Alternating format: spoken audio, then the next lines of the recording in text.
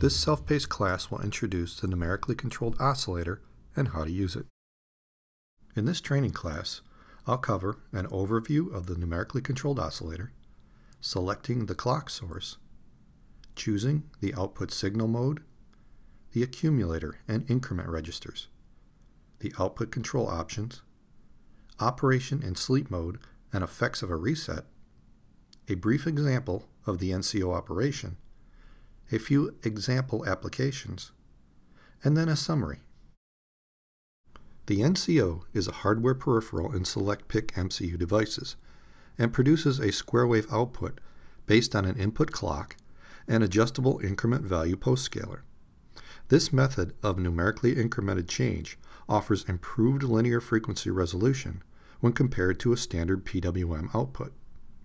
This can offer better performance for motor control, switching power supplies, or any typical PWM-driven design.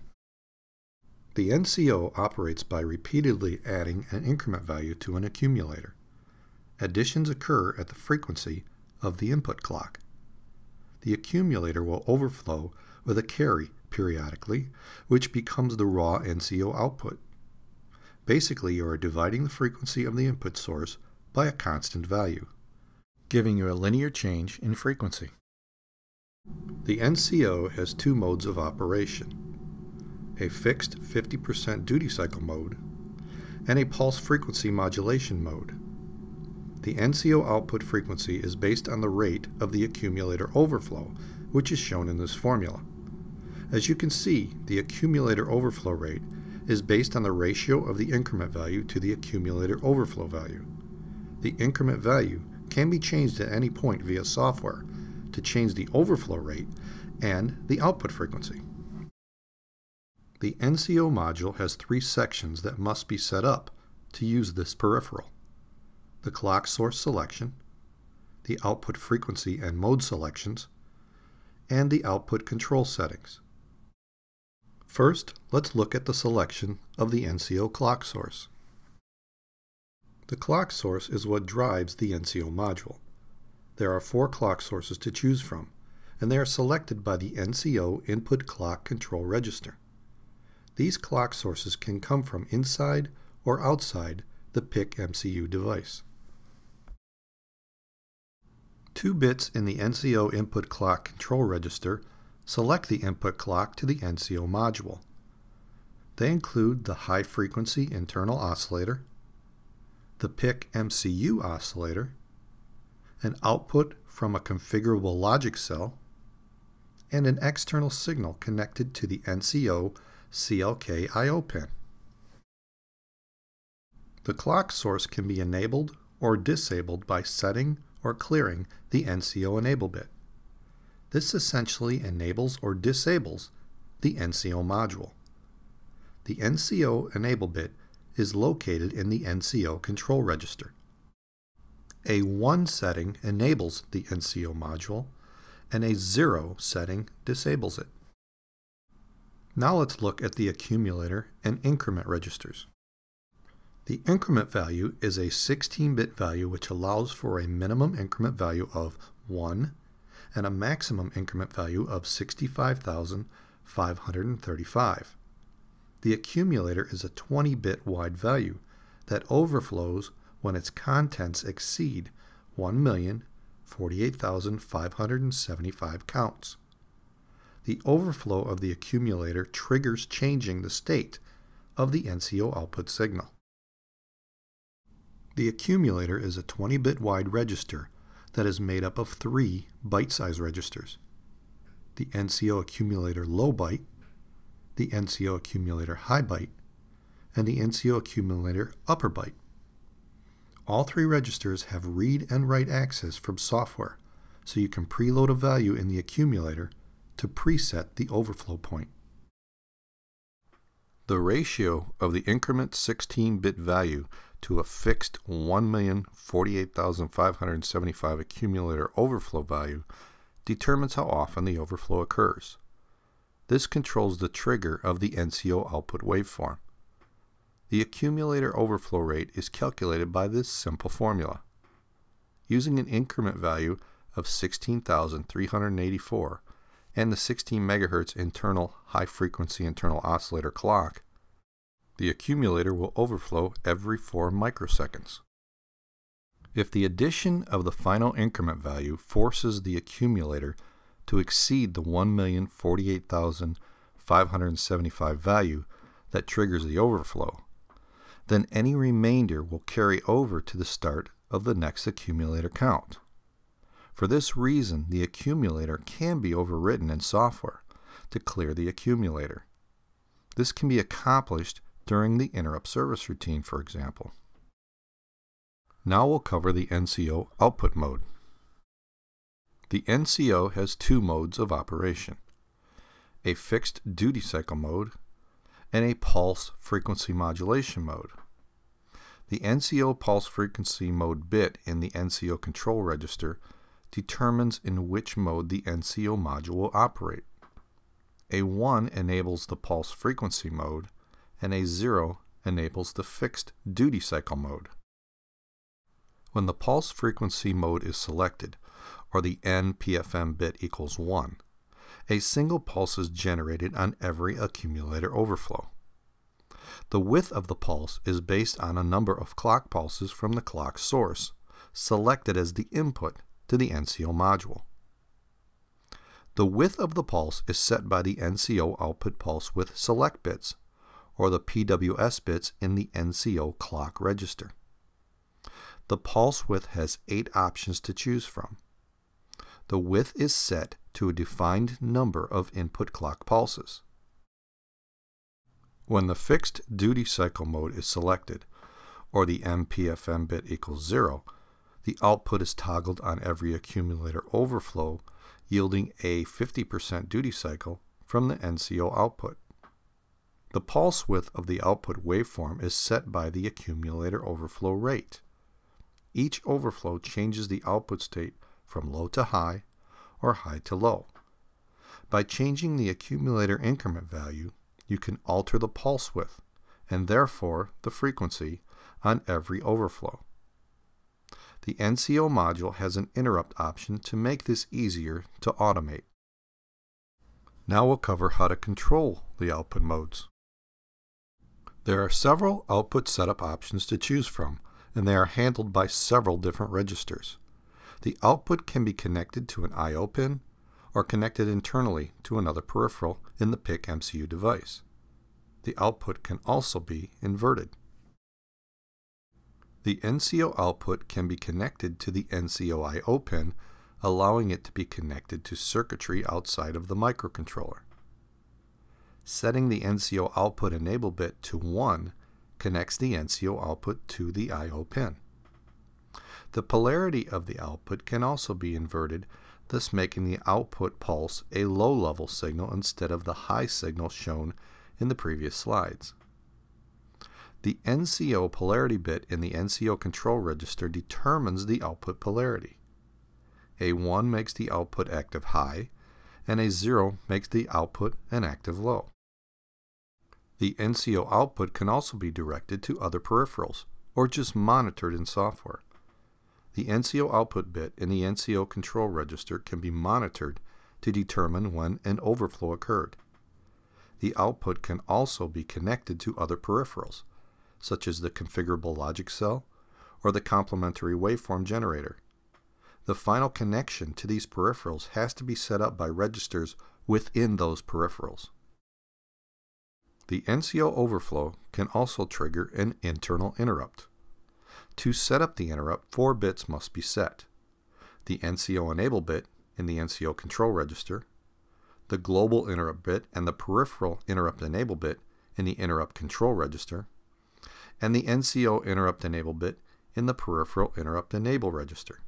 The interrupt flag NCOIF bit in the peripheral interrupt request register will be set to 1 when the interrupt occurs, and will move code operation to the interrupt reset vector. The NCOIF bit must be cleared in software before exiting the interrupt service routine. The NCO interrupt flag will be set on the accumulator overflow even if interrupts are turned off. This allows software to use a polling method, if desired, to monitor that bit. Now we'll cover the sleep mode operation and the effects of a reset. The NCO module will continue to run in sleep mode as long as the selected clock is still running. Typically, though, the oscillator is stopped during sleep mode to reduce current draw.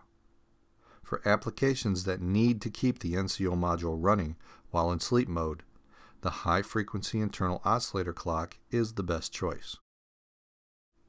If the high-frequency internal oscillator is selected as the NCO clock, then the NCO will run in sleep mode even if the high-frequency internal oscillator is also selected as the system clock. When the PIC MCU device is placed in sleep mode, the high-frequency internal oscillator will continue to run if the NCO is enabled. The high-frequency internal oscillator is a 16 MHz internal oscillator. All of the NCO registers are cleared to zeros when a reset occurs. So you must make sure your NCO settings are at the top of all your source code to allow for a quick recovery of the NCO operation. All the bit locations shown in yellow here will be reset to zero after a reset of the PIC MCU device. Now let's look at an example to help illustrate how the NCO output signals will operate. This chart shows a graphical representation of the NCO in operation for both output modes. The red signals, highlighted in yellow, show the input clock and then the pulse is generated when the accumulator overflows. The blue signal, highlighted in yellow, shows the fixed duty cycle mode would produce a 50% square wave with the output toggling between high and low on each accumulator overflow. The purple signals, highlighted in yellow, show the pulse frequency modulation mode will produce a single pulse on each accumulator overflow. The width of the pulse is then determined by the PWS bit settings. This graphic shows two settings, a 000 setting for single clock pulse, and also a 010 or 4 clock pulse setting. Let's step through an example of driving the NCO in fixed duty cycle mode to output a square wave as shown in the blue waveform. On each accumulator overflow, that output will change state from low to high or high to low the output waveform frequency will be equal to one half the rate of the accumulator overflow. For this example, we'll use a PIC 16F1507 to create a 500 Hz output square wave using the NCO. To do this, the NCO accumulator must overflow every 1 millisecond or at a rate of 1000 Hz. This will allow us to produce a 500 Hz output square wave signal from the NCO I.O. pin. If we rework the NCO overflow formula to solve for the increment value, we can determine the proper value to produce the 500 Hz square wave. If we use the 1000 Hz accumulator overflow rate times the overflow value of 1,048,575 and then divide that result by our 16 MHz high frequency internal oscillator clock, we get an increment value of 65. Now we need to set up the registers for the NCO module. We'll start with the increment registers. First, the increment high register is written to, followed by the increment low register. This will store the 65 increment value we calculated in the previous formula. Next, we set up the NCO to run in fixed duty cycle mode. We do this by making the NCO pulse frequency mode bit equal to zero. Two bits in the NCO input clock control register select the input clock to the NCO module. We select the high frequency internal oscillator selection by setting the bits to 00. The NCO polarity bit is set to 1 to make the output active high. The first time the accumulator overflow occurs, the output will toggle from a low to a high state. The NCO output enable bit and the NCO enable bit are both set to 1. This will start the NCO module and connect it to the output I.O. pin. The output waveform can be disabled at any time by controlling these bits. The XC8 compiler code is shown here for the NCO setup. First, the NCO increment registers are set up to load the increment value we calculated. Then, the clock source is selected. And finally, the fixed duty cycle mode, polarity, and NCO enable bits are set in the NCO control register. The complete code sample is shown here. The configuration settings are established at the top. Then the I.O. registers are set up. Finally, the NCO settings are included.